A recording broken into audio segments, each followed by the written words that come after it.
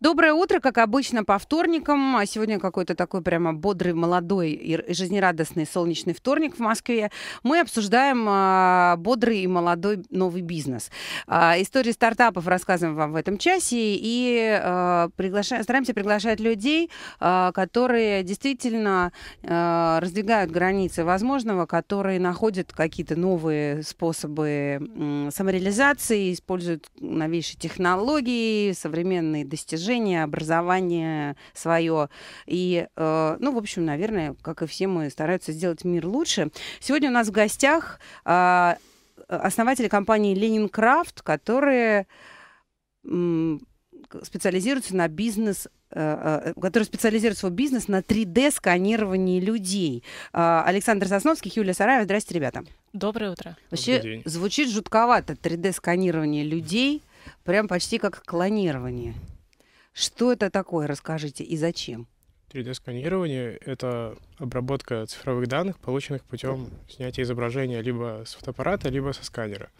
Если проще говоря, человек приходит в студию, его снимают со всех сторон, а на выходе мы получаем 3D-фигурку, точную копию человека.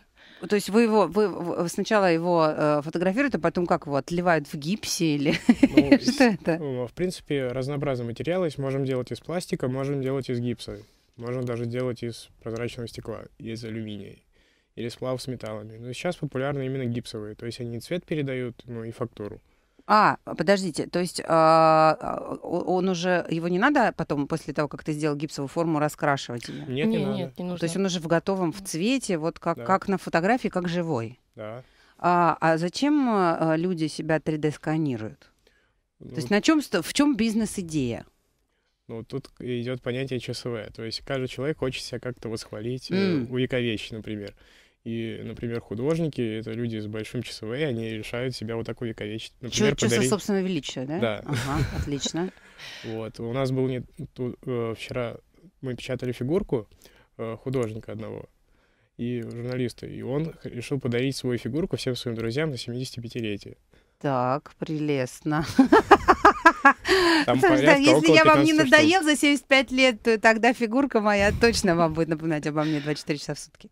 И вы напечатали целую серию для него, ну, мы пока напечатали одну, чтобы он посмотрел, сказал, что да, его устраивает, и дальше мы будем печатать полностью.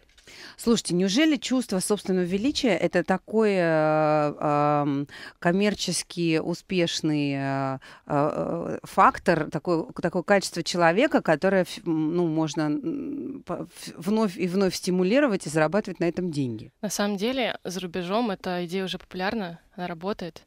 А, то есть я вот буквально позавчера общалась с человеком из венчурного бизнеса, который mm-hmm. приехал из Америки. Он говорил, что там очереди стоят в эти кабинки. Да вы что? Да, то есть кабинки установлены в торговых центрах, а, люди приходят туда, сканируются, да, буквально минуты проходят, и через а, несколько дней они получают свою фигурку. Причем фигурка может быть как вот по пояс, бюст, так и в, в полный рост. И ну, это удивительно, но действительно это работает. Это в Японии, в Америке, в Великобритании уже это вовсю, эта услуга идет. То есть она очень популярна. То, то, что у вас пока вы э, представлено в таком неком эксклюзивном бутиковом варианте, да, в, в западном мире уже просто вот, ну, пошло в народ, и сплошь и рядом человек может воздвигнуть себе нерукотворный памятник, и Пушкин переворачивается в гробу. Ну да, потому что в Англии уже в торговых центрах ставят такие кабинки, и туда люди сначала думали, то, что народу будет мало. Но сейчас у них стоит очередь, они не успевают обрабатывать все заказы. То есть модельки приходят спустя два месяца у них. Да вы что? Такое столпотворение идет. Ну, в принципе, это отличный подарок, например, родителям или другу. Ну, в общем, и самому себе любимому тоже, и там девушке любимой. А сколько да. времени занимает изготовление одного объекта? А, сканирование занимает около от 1 до 5 минут, а сама печать 10-сантиметровой модельки занимает 3 часа. Mm. За один раз можно в 3D-принтере напечатать, например, 6 или 10 бюстов таких. А это бюст, если сканировать бюст. А если целиком человека сканировать, это сколько времени занимает? Столько же. А, да? Независимо от его да. размеров? Как интересно. Как раз зависит от размеров, на самом деле. То есть в полный рост она может быть такой же, как бюст. Mm. Есть, а, там они по размерам даже варьируются. Ну и количество затраченного материала. Все от него зависит. Может быть полая фигурка, может быть целиковая. Но мы делаем полую, чтобы это было дешевле и быстрее. Еще в ней можно дырочки сверлить. Ой, слушайте, да расскажите, как вам пришла эта идея в голову, почему вы занялись именно этим бизнесом и, и как вообще вы начали его строить? Я так понимаю, вас строит, да? У вас есть еще партнер Ваня Васильев? Да, есть. И эта вся история началась в Санкт-Петербурге? Да, это началась история где-то в конце августа. Я тогда э, искал новые пути э, сканирования моделей, вообще упрощения работы, чтобы не строить все модели вручную, и наткнулся на программы, которые позволяют это делать но у них качество было не очень, и поэтому пришлось самому как-то улучшать алгоритм, и получилось наш продукт.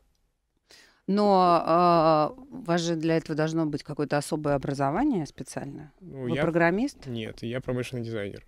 Так. А кто вам помогал улучшать алгоритм? Э, немножко Ваня Васильев, а так своими знаниями. В принципе, там ничего особо сложного нету. А кто изобрел этот алгоритм? Это, эта программа написана, она, и она в свободном доступе в интернете Ну, их очень большое количество. Некоторые в свободном доступе, некоторые за деньги. Вы выбрали свободный? Мы сейчас несколько путей пробуем, чтобы увеличить наше качество, но сейчас, э, скорее всего, склоняемся к платным программам. А кого первого напечатали-то? А, первого напечатали Ваню Васильева. Красиво получался? он принесет. Из гипса. Из да, гипса. Да. Причем у нас как бы фишка нашей компании, то, что у нас есть модификации. Человек может придумать все что угодно, и своей фигурки это как бы делать модификацию, прилепить э, совершенно вот любой элемент. Можно себе рожки приделать. Да, да, да, да. да. А, вплоть Хвостик. там фантазия ограничена абсолютно, грубо говоря. То, то есть можно изобразить себя в виде, там, я не знаю, какого-нибудь Неда Старка, да, да, супергероя да, да. и прочее.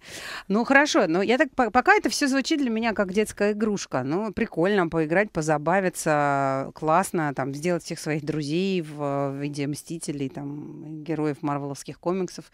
Как, каким образом из этого можно было построить бизнес? Как вы подошли именно к вопросу зарабатывания денег на этом? На самом деле это тестирование технологии, то есть э, фигурки — это ну, такой начальный этап.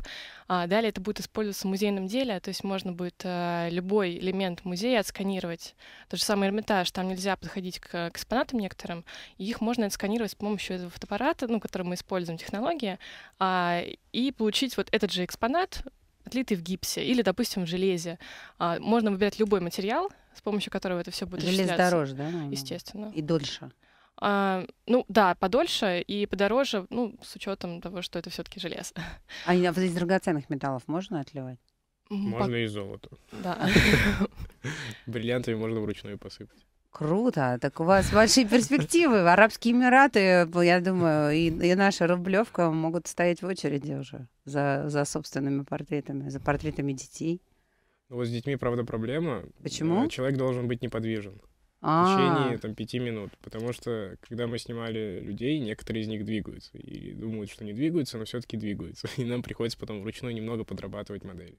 Ну, а, с томеской и ну лобзиком носик поправлять. А, но дело в том, что технология, она улучшается. То есть мы буквально сейчас за меньше половины месяца мы убыстрили процесс.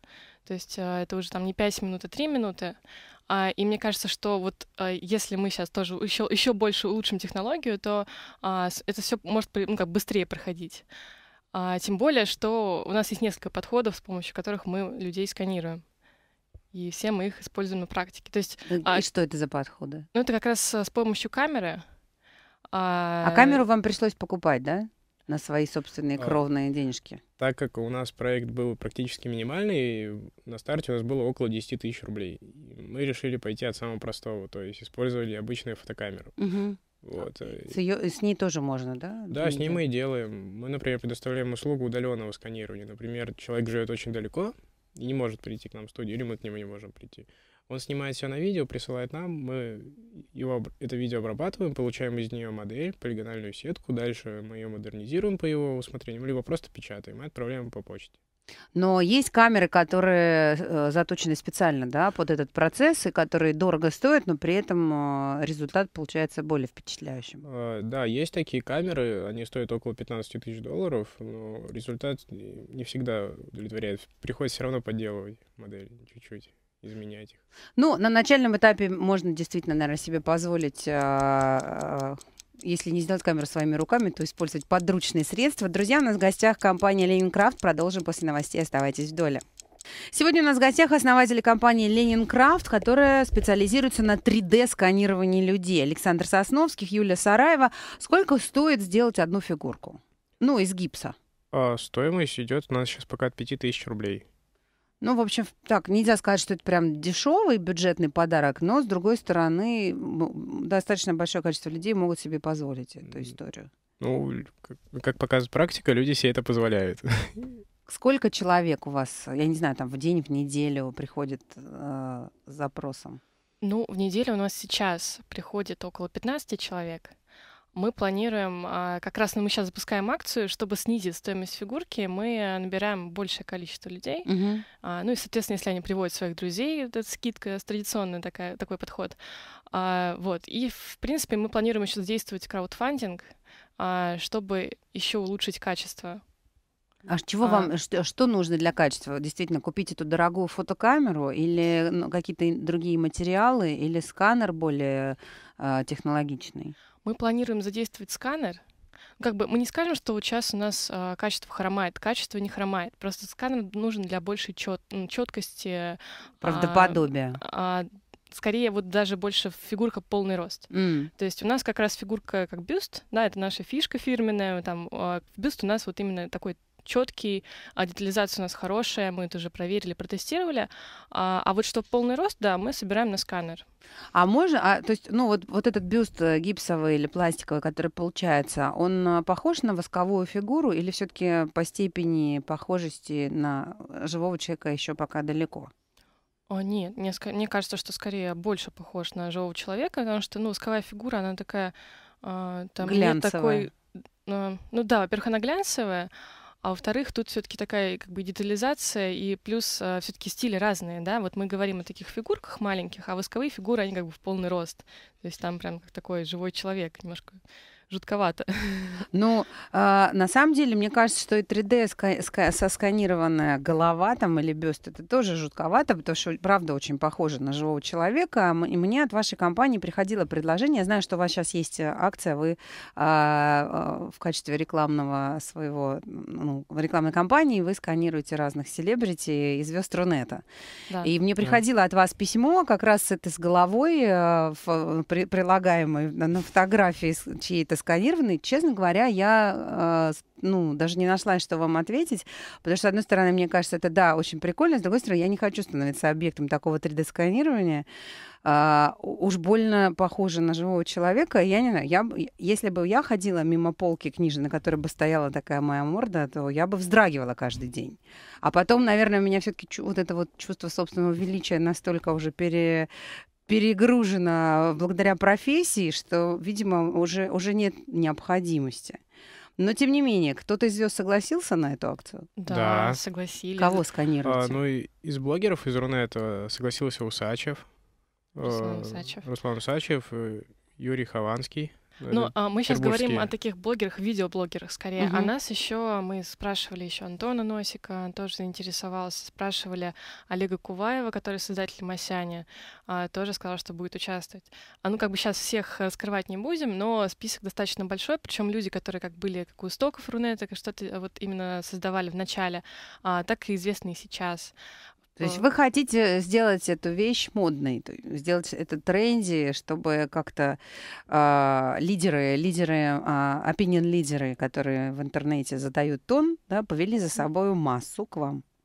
Ну, мне кажется, это вот это прикольно. Ну, то есть, это просто люди об этом пока не знают, а когда они поймут вот всю крутость этой штуки, то тогда э, будут делать именно свою, свою копию.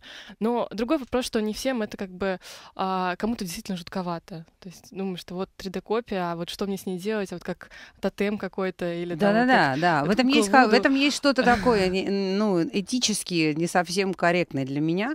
Хотя с другой стороны, наверное, а, с психологической точки зрения это могло быть эффективно даже в качестве какой-то терапии. Пройти мимо себя самого и сказать себе, ну и рожа у тебя, иной раз полезно бывает для некоторых людей.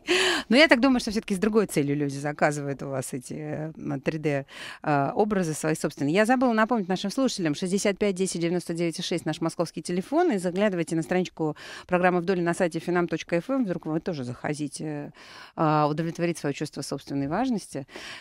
И сделать себе себя любимого в, в этом в, в нетленной в нетленном гипсе. А, а как скажите, пожалуйста, получается, что сразу цветная фигурка? Я не очень понимаю. А там цвет закладывается в принтер, ну то есть это как обычный принтер, есть же цветной, есть черно-белый, вот так бумага печатается текст. То же самое сейчас с принтерами 3D.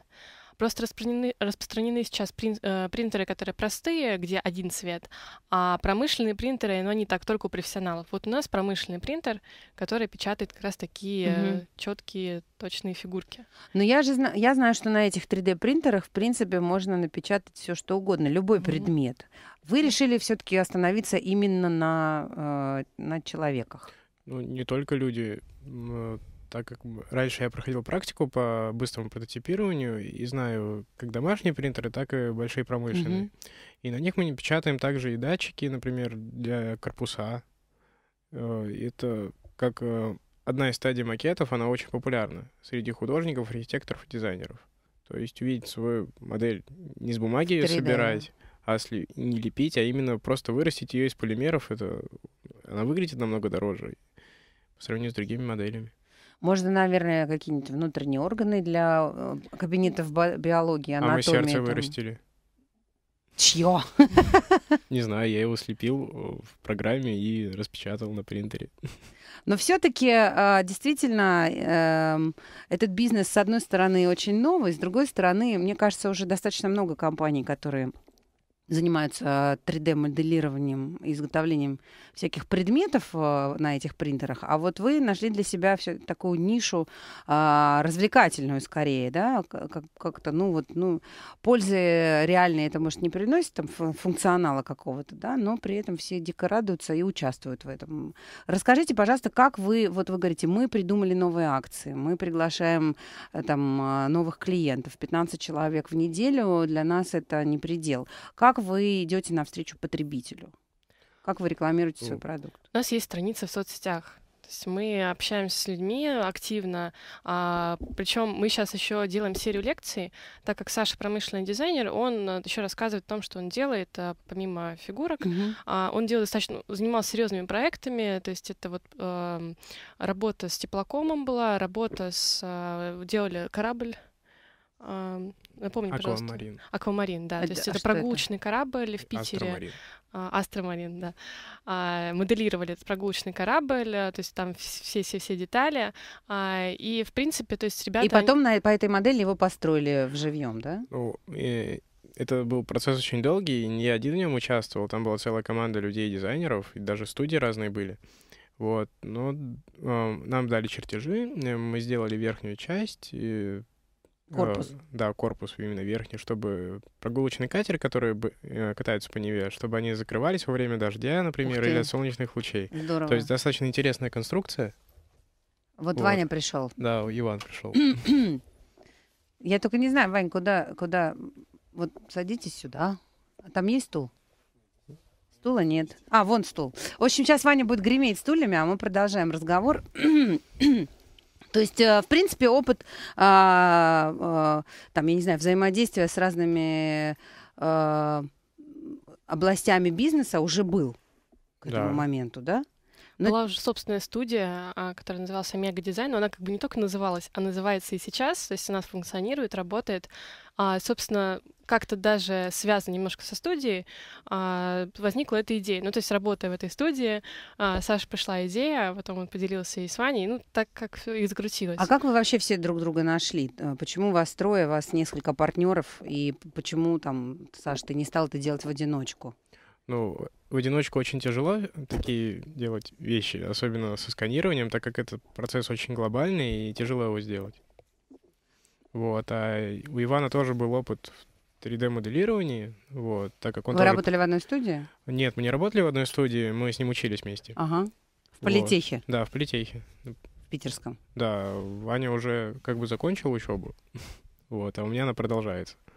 А, подождите, а вы вроде бросили, нет?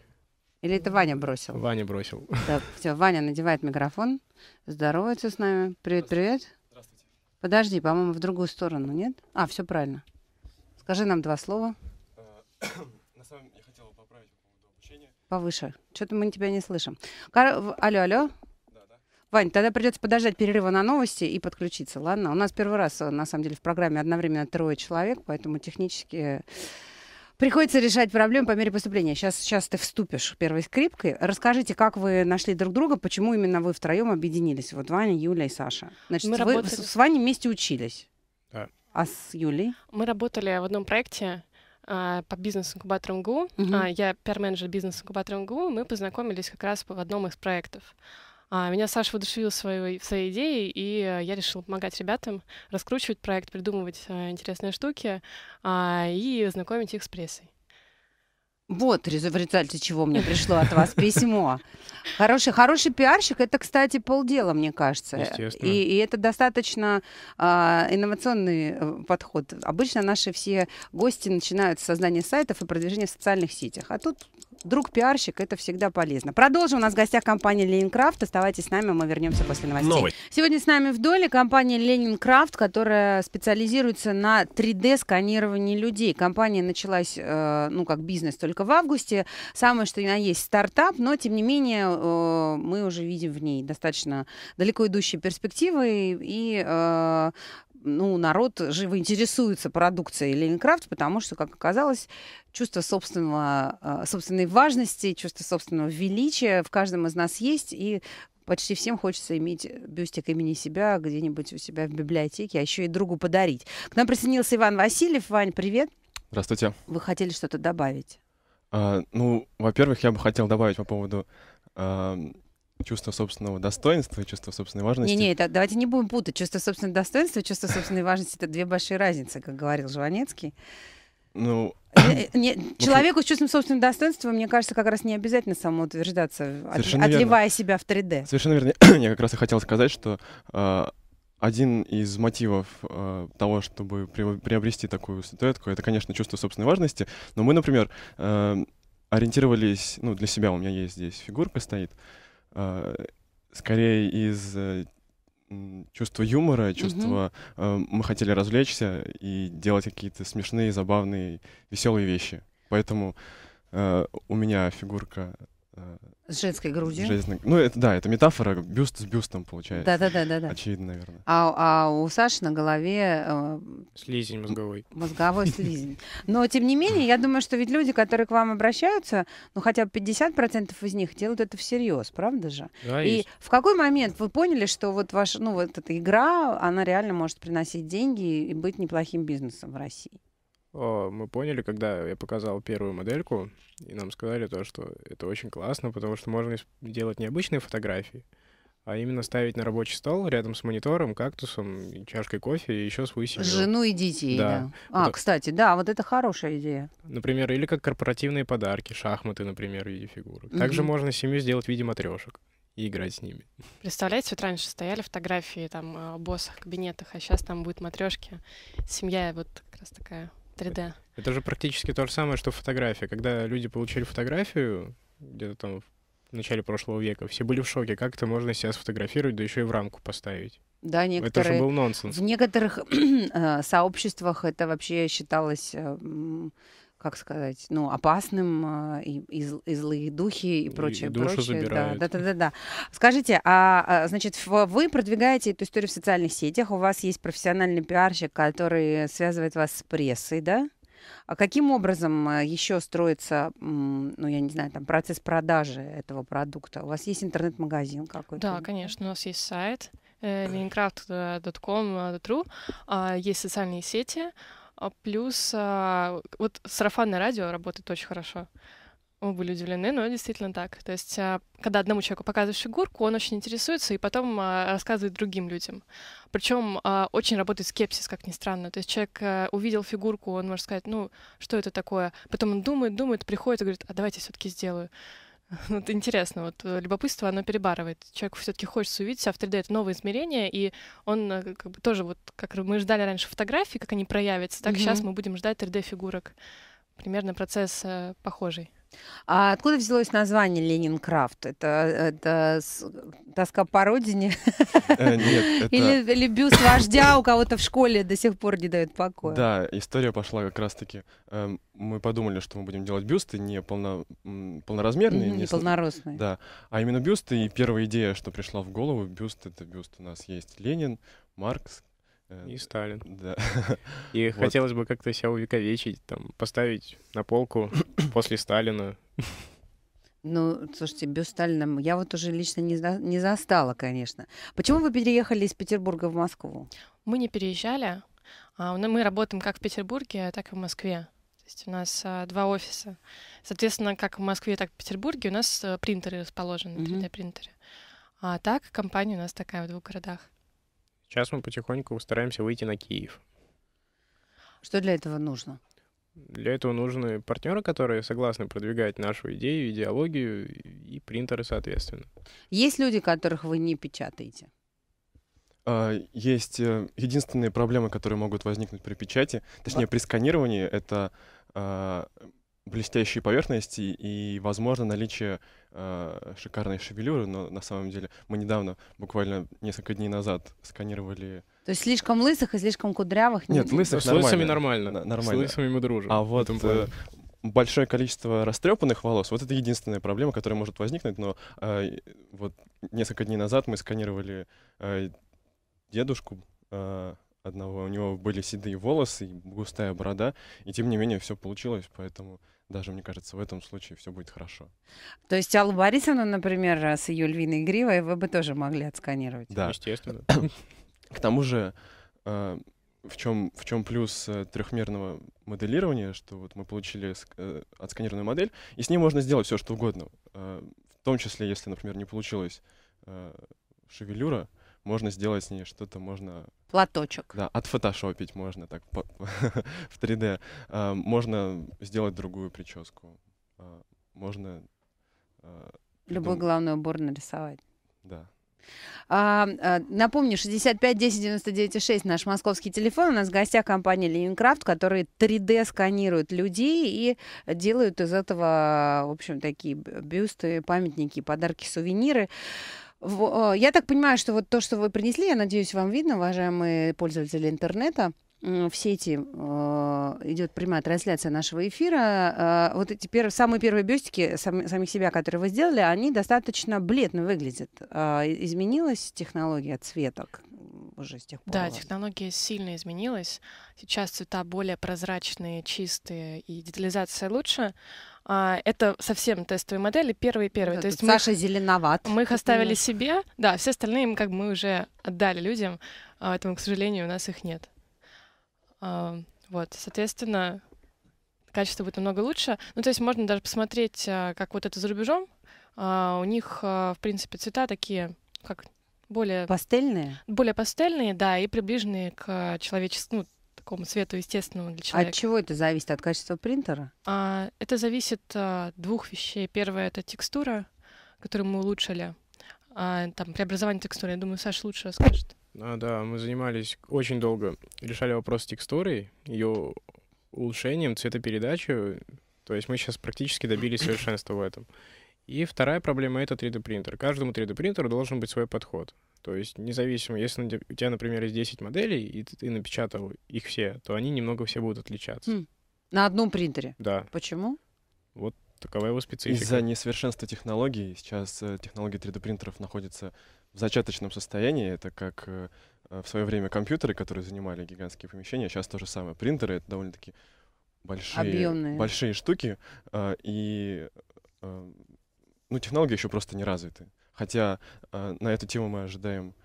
э, Прорыва? Прорыва, да. В 2014 году заканчивается срок действия патентов на технологию э, SLS. Э, и ожидается, что будут выходить новые принтеры, которые обладают большей э, точностью печатания, большей, э, меньшей стоимостью. Ну и поэтому И, соответственно, вам развяжет руки эта ситуация. Ну, А слушайте, а, а, а, а, то есть получается, что даже если я заказываю там четыре бюстика себя, то каждый там, то, то один будет там чуть более яркий, второй будет чуть более кривым носом, и, и получается, что каждый, каждый раз нужно вручную его доводить до совершенства? а, Не-не-не, не кривых так? носов не будет. То есть Не э, с точки зрения... Зазубринки какие-нибудь? С точки зрения моделирования они все будут идентичны. То есть если э, вот один Иван и распечатать еще четыре. Ивана, то они будут все одинаковые. И по цвету, ну, может быть, чуть-чуть будут отличаться, но не кардинально. Ну, Ваня вот уже говорит, что все равно э, все, все разные получатся. Но это а, с точки зрения профессионала, они все разные. То есть а, ребята, они видят- Потребитель не увидит А, разницы. нет, не увидит. То есть э, с точки зрения профессионала там все вот эти вот а, как маленькие там какие-то ну, все видно, да, вот человек, который моделирует, он все это выглаживает, там все полирует, шлифует, потому что эта работа перед тем, как отправить фигурку на печать, она тоже требует э, затрат временных, там, человеческих. А потом, ну, как бы, когда человек смотрит, нет, он не видит разницы. Вы сами сейчас этим занимаетесь, или вы уже можете позволить себе нанять каких-то дизайнеров? Сейчас мы пока что сами этим занимаемся, потому что э, основная проблема, с которой мы столкнулись в этом деле, это, ну, скажем так, сложность технологии, сложность работы с, в нашем случае, с софтом, э, потому что, вот э, Саня упоминал э, текстуры, текстуры даже не то, что текстуры, а скорее их э, координаты. Ну, я не буду вдаваться в Мгм. технические подробности. Мы очень долго вот действительно потратили э, времени на то, чтобы разобраться с этим.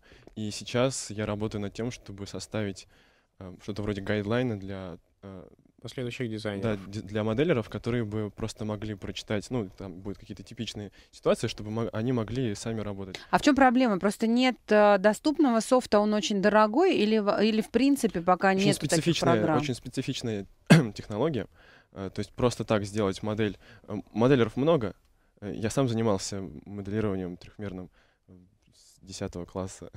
Вот. Но когда я столкнулся с этой задачей, я вот, там месяц сломал голову, вот каким образом сделать таки, так, чтобы модели были качественные, чтобы текстуры прав- правильно накладывались, чтобы они были хорошего качества и цвета, ну и так далее.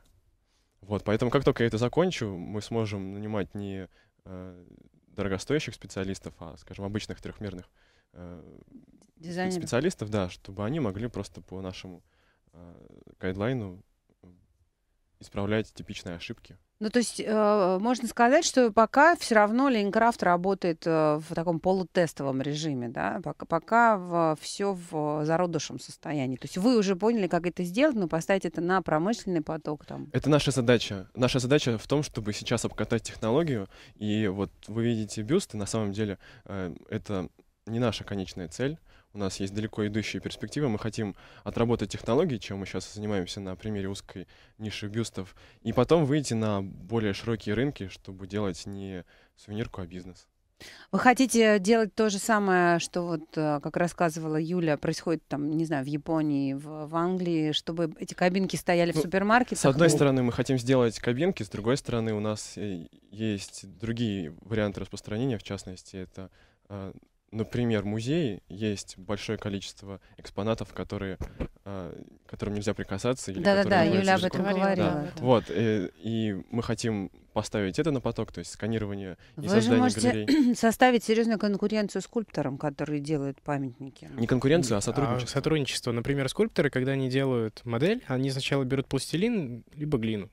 Вот. И им потом надо делать форму, отливку силиконовую, отливать уже непосредственно. А Мы очень, можем те- очень упростить. трудоемкий Мы процесс. можем это отсканировать, распечатать в гипсе, они могут гипс подредактировать. В принципе, мы сейчас будем с ними сотрудничать в этом деле. Они, это будет большая для них помощь. То есть в случае, Со просто стороны. в случае со скульпторами у вас не будет, будет не 3D-фотография, да, а его эскиз. Правильно я Да. понимаю?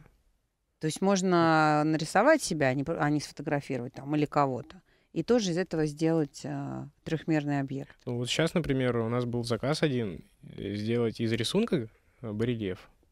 М-м. Вот. Это для частного лица Да.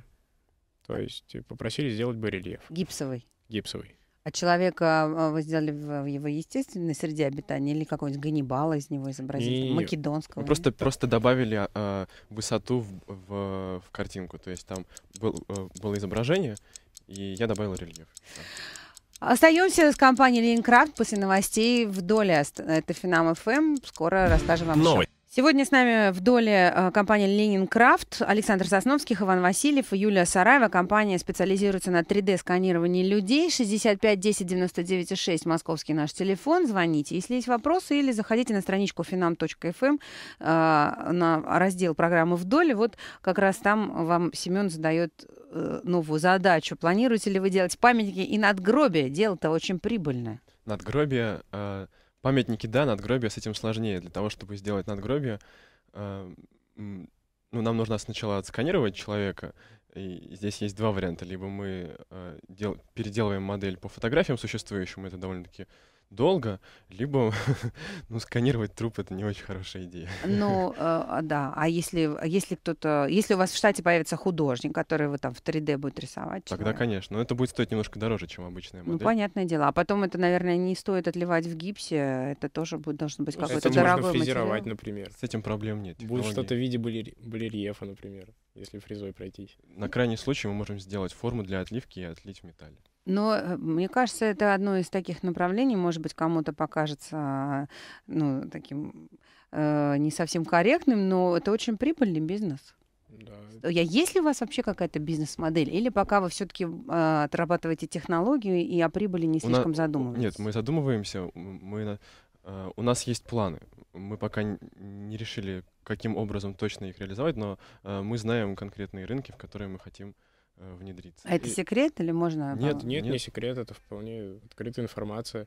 Мы хотим пройти, например, музейное дело, также с сканированием. И, грубо говоря, ну, моя личная идея — это создать большой музей. Сайт, на котором Мгм. будут представлены все скульптуры. Мгм. Как у НАСА, например. У них на сайте выложены все спутники. Человек может их скачать, посмотреть и так далее. Также мы хотим сканировать скульптуры, если музей нам, естественно, дадут на это разрешение. И мумий. И мумии тоже.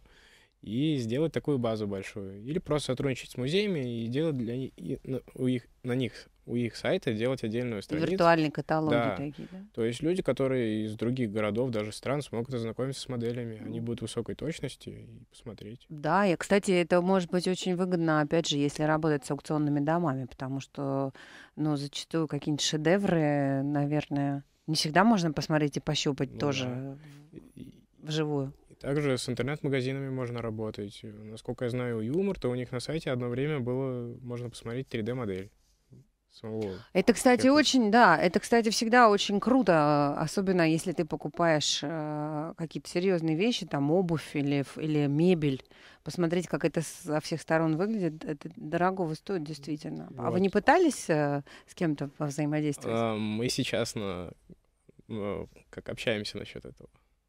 Но это уже не сканирование людей. То есть все-таки вы не, не ограничиваетесь только Не-не-не. на человеческих. э, Конечно, У нет. нас большой спектр, и мы хотим как раз-таки его занять. Потому что этот рынок открытый, и так как мы смогли сосканировать человека, мы сможем сосканировать ну, практически все. Но, правда, со стаканами будет проблема, Почему? потому что это стекло. Э, А стекло имеет свойство преломлять и отражать. Ага, вот это то, о чем вы говорите. Блестящие штуки сканировать. То есть в магазин посуды не стоит обращаться. Эм, ну, просто там нужно будет другое оборудование. Сейчас э, с той технологией, которая у нас есть, э, с бликами проблемы. Э, через какое-то время мы купим дорогостоящее оборудование, и там можно будет сканировать что угодно. То, что вы сейчас уже делаете, позволяет вам как-то развиваться, вкладывать деньги в бизнес? Тот же, ну там, я не знаю, покупать новые программы или там копить на новый принтер? Потихоньку, да. Ну, недавно мы купили сканеры, не сказать, что он дорогущий, но смогли себе это позволить. Юль, есть э, э, вы все-таки как пиар-человек из бизнес-инкубатора МГУ, наверное, как никто могли бы рассказать нам о бизнес-планах, да? То есть э, есть ли, например, ребят планы там, дополнительное образование получить, не только э, техническое и дизайнерское, которое и так уже сейчас вполне э, применяется ими, да, но и все-таки, если из этого строить какой-то полноценный бизнес, наверное, придется осваивать новые знания, нет? А, я думаю, что это возможно.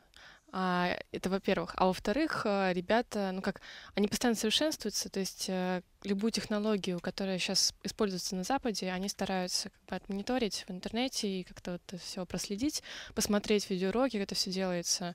А плюс мы постоянно мониторим рынок на Западе, и а, вот я к своему, к своей радости и к своему удивлению увидела, что круп- крупные бренды, такие как Coca-Cola, они тоже заказывают а, для своих потребителей а, такие фигурки. То есть у них сейчас был э, первый приз победителю конкурса Coca-Cola а, отсканировать человека в полный рост. Плюс а, сейчас, наверное, слышали, ну, э, теория большого взрыва зна- знают, Ну, наверное, все. И там была серия как раз про то, как а, главные герои сканировали друг- друг друга в 3D. Причем там был Kinect, который мы тоже использовали, протестировали, а, и как бы, в принципе, можем а, человеку в реал-тайм режиме показывать его фигурку. Kinect, э, вы имеете в виду, это э, датчики... Датчики движения, которые улавливают человека там по точкам, грубо говоря, по маркерам, и ловят это движение и передают в игру. То есть человек может прыгать, ну, то есть как Xbox работает. Да, а как это, в как это, а каким образом это можно сочетать с э, моделированием? Наоборот, вы же сказали, наоборот, что человек должен быть абсолютно неподвижен.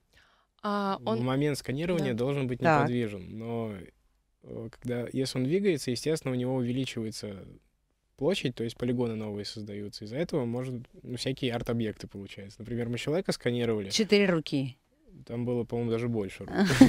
Ваня точно знает, так как он... Да, этот человек дважды торчал из самого себя, э, и у меня возникла идея, что было бы неплохо это распечатать и поставить. э, Это смотрится очень необычно.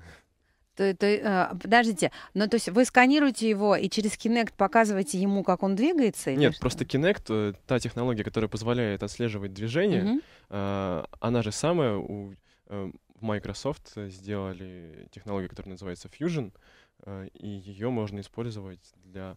Она оценивает расстояние до объекта. Так. Э, И если сложить много-много э, вот этих вот, э, от- ну, грубо говоря, фотографий э, глу- глубины э, до э, объекта, то можно получить 3D-модель человека. Она будет не очень хорошего качества, э, и либо ее нужно дорабатывать, либо э, использовать, использовать более дорогие аналоги. Мы отказались от Kinect, потому что мы сейчас сканируем лицо, и глаза, например, с его помощью э, увидеть невозможно. То Да, нужна более ника- точная. Никакой геометрии там не видно. Но все-таки у меня создается сейчас впечатление, что вы все равно в большей мы, поскольку у нас программа про бизнес, про стартап, а, вы сейчас гораздо больше заточены на, ну, там, на науку и технику, нежели на а, Бизнес. на бизнес и финансы. А это не совсем так. А, ну, то есть у нас есть сейчас а, план развития, ну, как бы ребята не, сказали, у нас есть план развития на ближайшие вот полгода, а, и, в принципе, то есть как мы будем развиваться в плане бизнеса, у нас есть понимание, а, что вот мы начнем с фигурок, это наш имиджевый проект, э, мы так хотим привлечь а, внимание к нашему проекту с помощью и медиа, компаний специальных, которые будут, а, как я уверена, интересными и яркими в ближайшем будущем. А в дальнейшем у нас уже будет именно такая серьезная B2B а, м, это как сотрудничество в плане вот с такими корпорациями, которые работают с технологиями, как вот музеи и так далее.